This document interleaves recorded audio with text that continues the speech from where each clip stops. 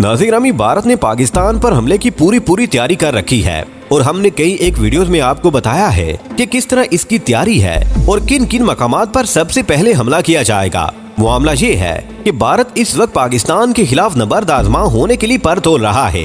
लेकिन इसका इरादा ये है कि बरह रास्त हमला अभी ना किया जाए और पहले अपनी प्रॉक्सी को तैयार किया जाए। और इनको पाकिस्तान के खिलाफ इस्तेमाल किया जाए। पाकिस्तान के अंदर जो इसके एजेंट मौजूद हैं, उनको भी और रो के ज़रिए भी इस किस्म के हालात पैदा कर दिए जाए कि पाकिस्तान एक मुश्किल में पड़ जाए, उसके बाद हमला किया जाए। पहले अंदरूनी तौर पर पाकिस्तान के लिए मसाइल खड़े किए जाए। पाकिस्तान तो पहले ही अंदरूनी मसाइल में घिरा हुआ है इसको और भी दहशत गर्दी जैसे मसाइल में मुबतला कर दिया जाए और जब फौज और सिक्योरिटी की तवज्जो इस तरफ़ हो जाए तो उस वक्त भरपूर हमला किया जाए। प्यार दोस्तों, आजकल पाकिस्तान और अफ़गानिस्तान के दरमियान कशीदगी जारी है। कल तुरखम बॉर्डर पर फायरिंग हुई और अच्छी खासी फायरिंग हुई है। तो दूसरी तरफ़, भारत हमें धमकियाँ दे रहा है। अफ़गानिस्तान ने एक चौकी बनाने की कोशिश की थी, जो कि पाकिस्तान की हदूद में थी। जब इनको रोका गया तो इन्होंने बात नहीं मानी, जिसकी बिना पर इनको ताकत के ज़रिए रोकने की कोशिश की गई, और दोनों इतराफ से फायरिंग शुरू कर दी गई, और इस तरह हालात कशीदा हो गए।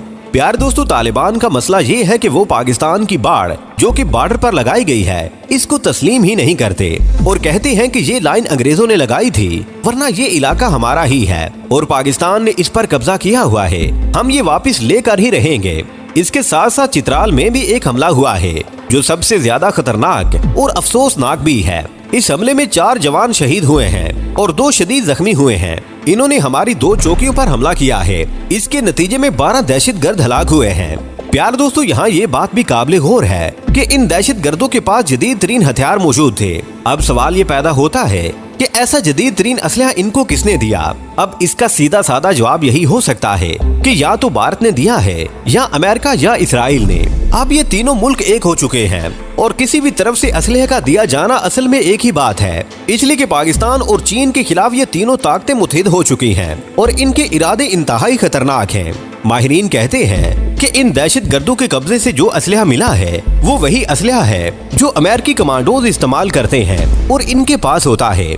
इससे क्या नतीजा निकाला जा सकता है? आप खुद ही समझ सकते हैं कि इनका मास्टर माइंड और इनका सहूलतकार कौन है। प्यार दोस्तों, बाद माहरीन का ख्याल है कि अफ़गानिस्तान में अब भी अमेरिकी बाकियात मौजूद हैं, जो कि खुफिया तौर पर अपने अड्डे बनाकर तालिबान की नज़रों से हटकर कार्रवाई करती हैं और पाकिस्तान और तालिबान को लड़वाने में एक अहम किरदार अदा कर रहे हैं। ये अमेरिकी हिमायत याफ्ता है और अमेरिका यहाँ से जाते हुए जो असलहा छोड़ गया था, ये वही असलहा है जो इन दहशत गर्दों से मिला है और अमेरिका अपने नुमाइंदों को अफ़गानिस्तान में छोड़ गया और अब ये अफ़गानिस्तान के रास्ते से पाकिस्तान पर हमला करते हैं। और अब जो हमला हुआ है, वो भी इन्हीं लोगों ने किया है। पाक पुलिस को देखने और सुनने वाले प्यारे दोस्तों, यहाँ ये भी बताते चले कि चित्राल के लोग बहुत ही पुरअमन और खूबसूरत इखलाक के मालिक भी हैं। और अल्लाह ने इनको जिस्मानी तौर पर भी बहुत खूबसूरत बनाया है। कालाश का इलाका एक खूबसूरत सैरगाह है और लाखों लोग गर्मियों में इस इलाके की सियाहत के लिए आते हैं। अब अगर इन इलाकों पर भी हमले शुरू हो जाएँगे तो सियाहत तो यहाँ से खत्म हो जाएगी और इन लोगों की ज़िंदगी दुश्वार हो जाएगी। इसलिए कि इनका दारो मदार ही सियाहत पर है और इनको अपने अखराज इसी सियाहत से पूरे करने पड़ते हैं। नाजीरामी जरबी अजब के बाद छह साल बाद यहाँ पर दोबारा सियाहत का आगाज़ हुआ है। इससे पहले जब पाकिस्तान दहशत गर्दों के साथ लड़ रहा था और उनके खिलाफ ऑपरेशन जारी थे तो उस वक्त भी यहाँ का निज़ाम बिगड़ गया था। उसके बाद आहिस्ता आहिस्ता दोबारा सियाहत बहाल हुई है।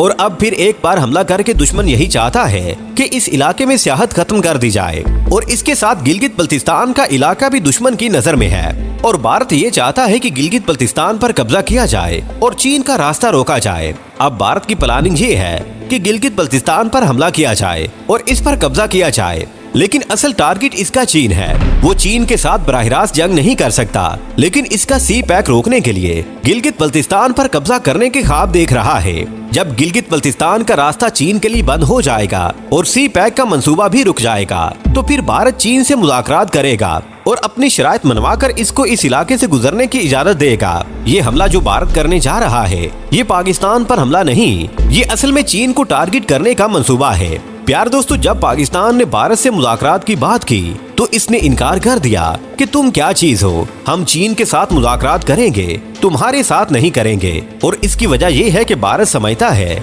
कि इस वक्त पाकिस्तान की अंदरूनी हालत इतनी खराब है कि बैरूनी हमला वो बर्दाश्त नहीं कर सकेगा और भारत जीत जाएगा।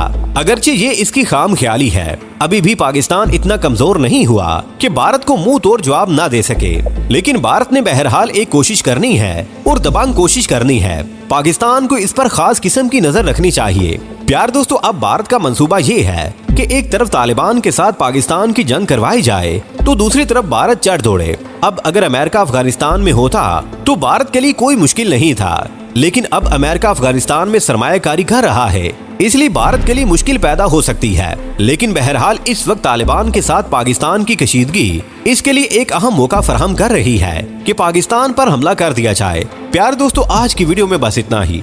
हमें आज भी पूरी उम्मीद है कि आज की यह वीडियो भी आपकी मालूम में इजाफे का बाइस बनी होगी। वीडियो पसंद आने की सूरत में इसे लाइक कीजिए, दोस्तों से शेयर कीजिए और कमेंट सेक्शन में हमें अपनी कीमती राय से ज़रूर आगा रखिएगा। अल्लाह निगेबान।